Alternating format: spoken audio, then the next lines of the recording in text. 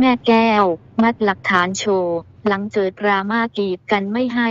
นาเดชไปงานวันเกิดยาย่า แม่แก้วโพสข้อความขออโหสิ หลังเจอเกรียมคีย์บอร์ดด่าแรง นิสัยเลว สร้างปัญหาให้ลูก เหตุดราม่าโดนมองกีดกัน นาเดชคูกิมิยะ ไปงานวันเกิด ยาย่าอุรัตยา แม้ว่าก่อนหน้านี้หนุ่ม นาเดช คูกิมิยะจะออกมายืนยันว่าไม่ได้ทะเลาะและห่างกับสาวยาย่าอุรัตยา อย่างที่เป็นข่าว พร้อมทั้งควงกันออกงานไปดูแฟชั่นโชว์ จนแฟนคลับเป็นวาย สบายใจไปตามตามๆกัน แต่เมื่อวันที่ 18 มีนาคม 2561 ซึ่งตรงกับวันคล้ายวันเกิดอายุครบ 25 ปี ของ สาวญาญ่า โดยเจ้าตัวได้จัดงานปาร์ตี้เล็กๆ ชวนเพื่อนสนิททั้งในวงการ และนอกวงการมากินข้าวร่วมกัน แต่กลับไร้เงาห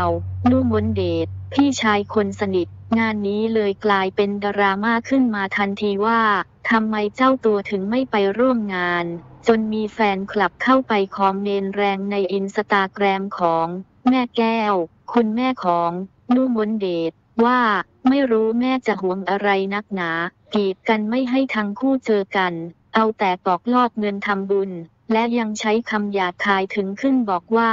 นิสัยเลว ชอบสร้างปัญหาให้ลูก จนอวยพร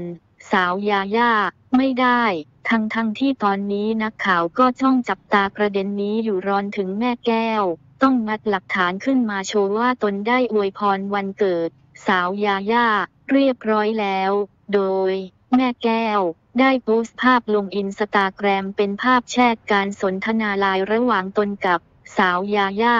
ซึ่งเป็นข้อความอวยพรวันเกิดให้กับนางเอกสาว ซึ่งทาง สาวยาย่า ก็ได้ตอบข้อความกลับมาว่า ขอบคุณแม่แก้ว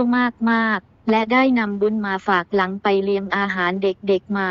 นอกจากนี้ แม่แก้ว ยังได้โพสต์บทความอโหสิทุกประการที่เขียนด้วยลายมือ ระบุเอาไว้ว่า ตั้งแต่อดีตจนถึงปัจจุบันตนทำดีที่สุดแล้ว ตนขอยึดทางสายกลาง ส่วนเรื่องหัวใจของลูกนั้น คงจะอยู่ที่คนสองคน เพราะเขาโตเป็นผู้ใหญ่ ขอให้สู้ต่อไป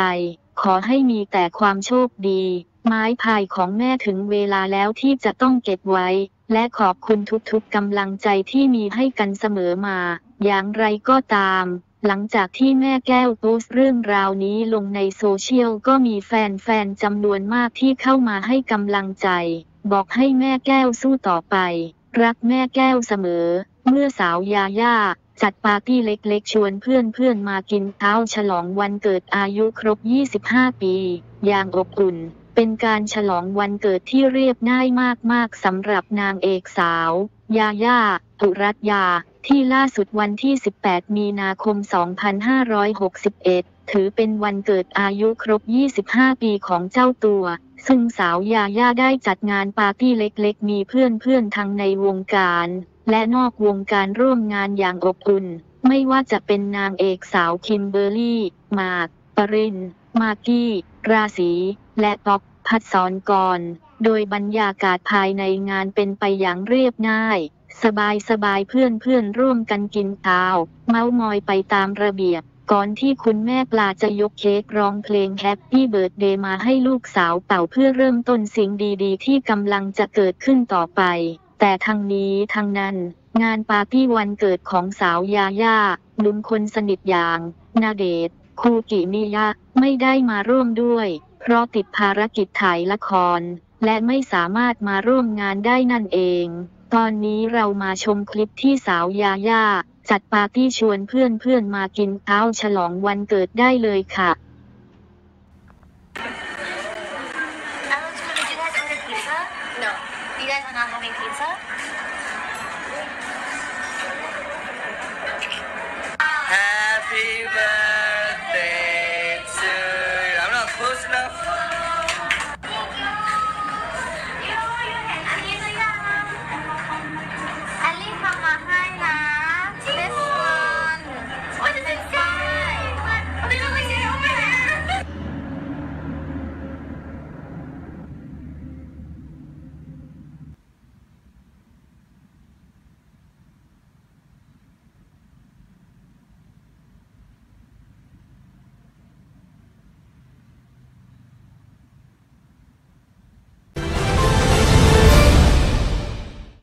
ยาย่าตุรัตยา แบงค์รับแบงค์สู้ หางวนเดทไม่แท็กไอจีหา หรือจะถึงคราวจิ้นแตก ยาย่าตุรัตยา ตกงงมาก กรณีถามหางวนเดทคูกิมิยะยอมรับไม่ได้เจอกัน มีกระแสเข้ามาก็ขอเลือกไม่รับรู้ แต่ยังไงก็ยังคงเป็นมืออาชีพเช่นเดิม หลังจากที่พักหลังนี้ มีคนจับสังเกตว่านาเดชคูกิมิยะและยาย่าตุรัตยา ดูจะไม่เหมือนเดิมอีกต่อไป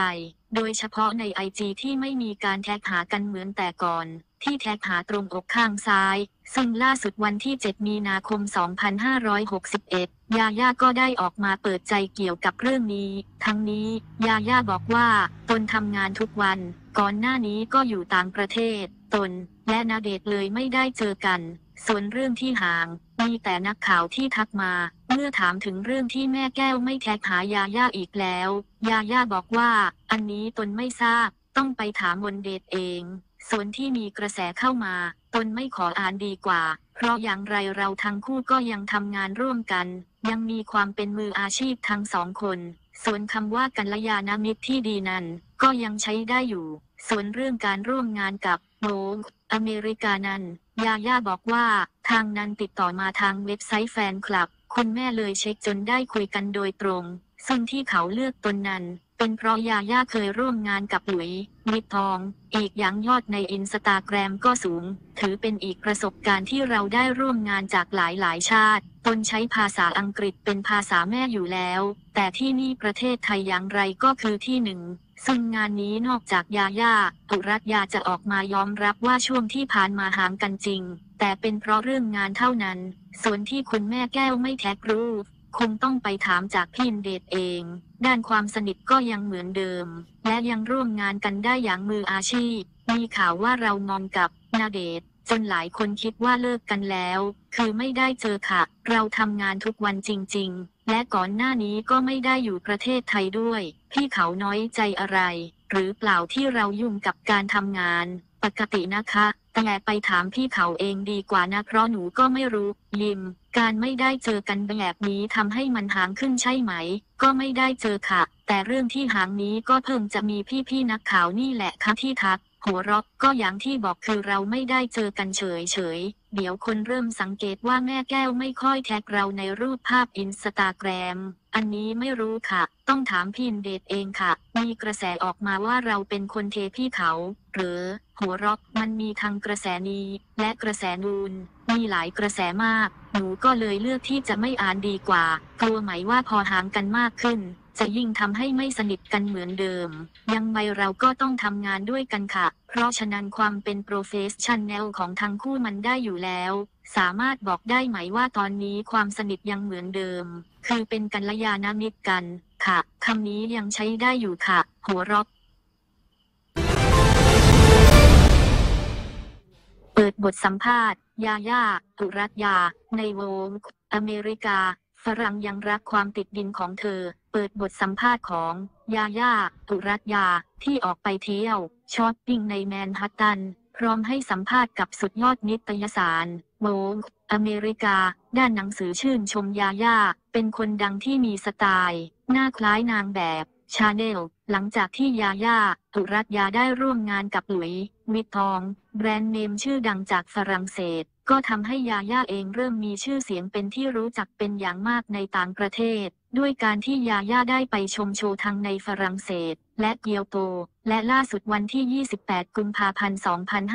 2561 ก็ดูเหมือนว่าเธอจะมาแรงแบบฉุดไม่อยู่ เมื่อได้มีบทสัมภาษณ์ของญาญ่าในนิตยสาร Vogue ของอเมริกา นิตยสารผู้หญิงแนวหน้าระดับโลก ทั้งนี้บทสัมภาษณ์ดังกล่าว โดยโมนิก้า คิม จะเป็นการที่พาญาญ่าไปเที่ยว และช้อปปิ้งในนิวยอร์ก ซึ่งแม้ว่าจะมีการนัดกันตั้งแต่เช้าตรู่เจ็ดนาฬิกา แต่ญาญ่าก็มาตรงเวลาพร้อมกับโค้ทสีเข้ม และรองเท้าผ้าใบจาก Louis Vuitton และแม้ว่าญาญ่าเองจะมีชื่อเสียงเป็นอย่างมาก ทั้งจากงานละคร ภาพยนตร์ และมีคนติดตามในอินสตาแกรมกว่า 6.3 ล้านคน โมนิก้า คิม ยังเอ่ยชมว่า ญาญ่าเป็นคนติดดินที่สุด ทั้งนี้ ญาญ่าได้ไปช้อปปิ้งที่ Dover Street Marketซึ่งมีร้าน Supreme ตั้งอยู่ และญาญ่าก็เอากระเป๋าสตางค์คอลเลกชัน Louis Vuitton x Supreme มาให้ดู และบอกว่าเธอเองชอบแบรนด์ high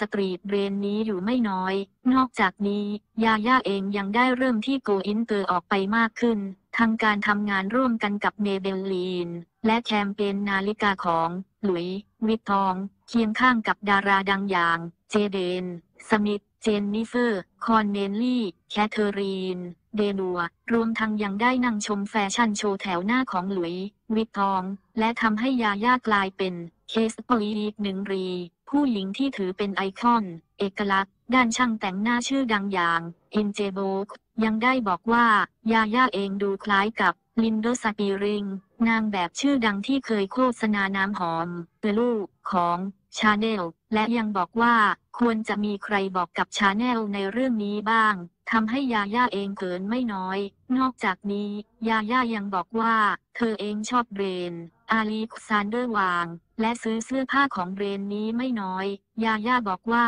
พนักงานขายในอเมริกาสามารถชักชวนให้คนซื้อของได้ด้วยการเดินเข้ามาบอกว่า ของชิ้นนี้เพิ่มมาเลยนะคะ แล้วพอคุณใส่แล้วเข้ากันมากเลยค่ะ ลองก่อนได้นะคะ แล้วถ้าถามว่ามันได้ผลไหม ก็ต้องบอกว่าได้ผลเสมอ ยาย่าเองเป็นคนชอบช็อกโกแลตมาก ตากอมเธอเป็นประกายเมื่อได้ลองของหวานชิมแล้วชิมเล่าที่ ซิพริอานีและเพราะยาย่าเกิดวันพฤหัสบดี สีนำโชคของเธอจึงเป็นสีส้ม และสีแดง อันจะเห็นได้จากกระเป๋าสตางค์เสื้อยืดของ Supreme รูปไก่ทอด เสื้อจัมเปอร์หมวก กระเป๋าคาดเอว ซึ่งญาญ่าก็บอกว่า เธอเองสนุกมากกับการช้อปปิ้ง และพอสุดท้ายแล้ว เธอก็ชักชวนให้เหล่าบรรณาธิการของ Vogue สามคนซื้อรองเท้าผ้าใบแบบ Archlight ที่ประดับด้วยตัวการ์ตูนมากมาย ซึ่งดูแล้วเหมือนจะใส่ยาก แต่พอญาญ่าได้ลองใส่ กลับดูสวยเข้ากันไม่น้อยเลยทีเดียว